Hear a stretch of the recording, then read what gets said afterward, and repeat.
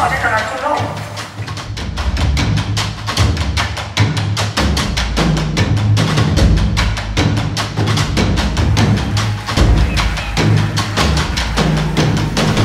know, the more people making movies, the more there's the infrastructure for it. To the more of it there is, the healthier it is, the more it perpetuates itself.